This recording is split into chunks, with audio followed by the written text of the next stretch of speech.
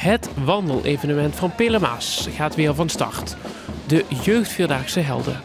Dit jaar voor de vijftigste keer.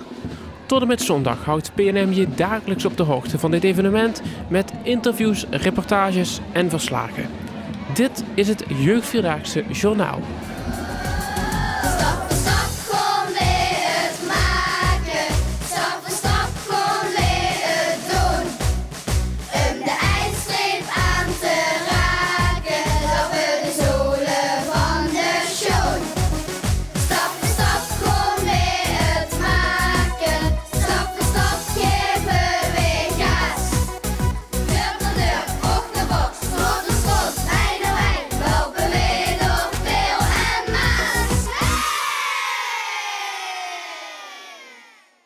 Woensdag start de Wandelvierdaagse.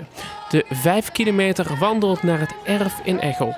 De 10 kilometer loopt via Echel en rust in Beringen bij de Wiekslaag, net als de 15 kilometer.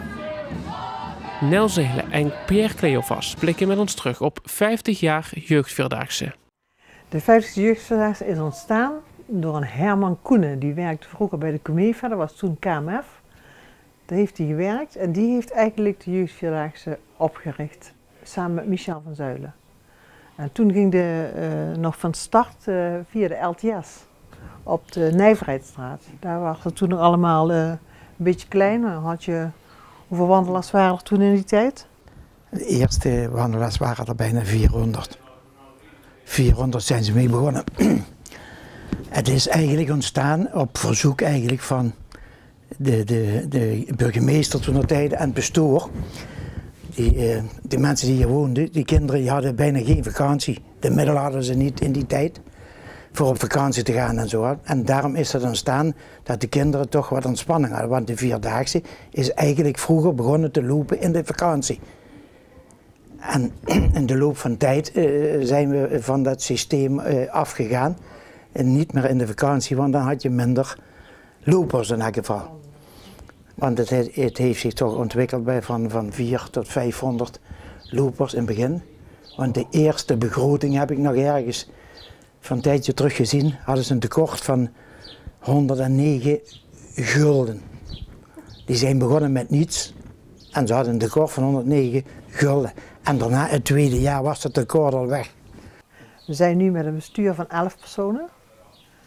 En ik moet zeggen dat we een hele groep eh 37 vrijwilligers hebben.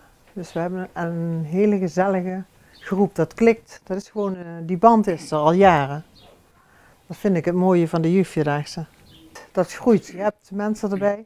We hebben, we hebben er mensen bij die zijn vanaf 12 jaar al als, als vrijwilliger. Dus eh, die is nou ondertussen, is die 40? De Nee, Robert. dat is, ja, Robert Robert is Smit. tegen de 40.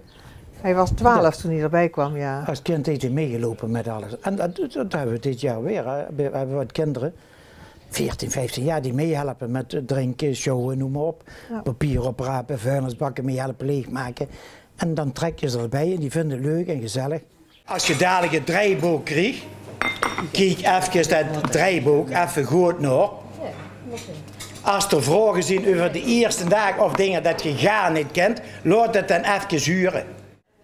We kunnen heel veel tegen elkaar zeggen, hè? eh, op, op ons platte manier eh, vergaderen, en, maar wel duidelijk en afspraken maken. We hebben, dat, we hebben een heel goed draaiboek gemaakt.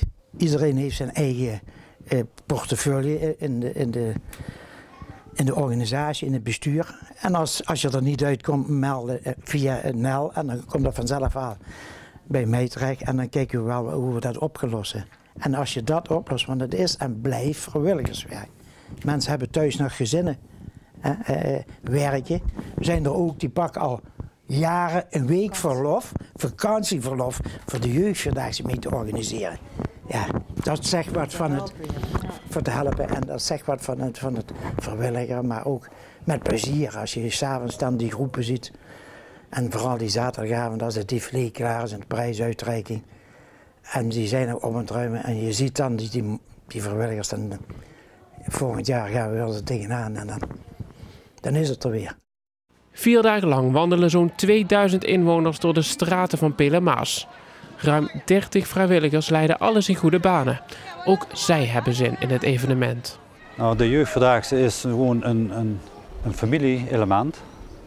Want iedereen kan meedoen en het, het plezier wat ze daarin beleven, dat, dat is gewoon massaal. Meer kan ik er eigenlijk niet van zeggen. Dat is gewoon een eigen belevenis op zich, daar moet je ook voor meedoen. Ik vind het allemaal leuker geworden, fleuriger, kleuriger en leuker. Ik denk, eh, ja, ja, toen was het ook leuk, maar nu is het eigenlijk eh, ja, eh, gewoon leuker. je leeft daar ja, eigenlijk een jaar naartoe. Tenminste, dat gevoel heb ik altijd. En als die dagen dichterbij komen, dan, ja, dan wordt dat, dat wordt wat spannend. Wat spannend. Hebben we alles voor elkaar? Eh, eh, dat, dat gevoel van is alles goed geregeld? Eh, zal het goed lopen? Je, ja, je gaat dingen uitzoeken van ja, klopt dat, klopt dat? Een beetje kijken naar de dingen. Zijn ze, zijn ze geregeld zoals we ze geregeld willen hebben? Dus, maar het is, ook dat geeft weer wel een heel goed gevoel om daar naartoe te leven. En tijdens die dagen, ja, dan merk je gewoon dan, ja, je hoort dan bij die, eh, ja, ik noem het altijd een beetje die, die vierdaagse familie. En eh, ja, dat geeft gewoon een heel goed gevoel. De komende dagen volgen we de vrijwilligers tijdens de Vierdaagse. Tot die tijd genieten we van beelden van de afgelopen jaren. Morgen weer Jeugdvierdaagse, dan een verslag van de eerste loopdag. Vanaf 12 uur te zien op Omroep PNN.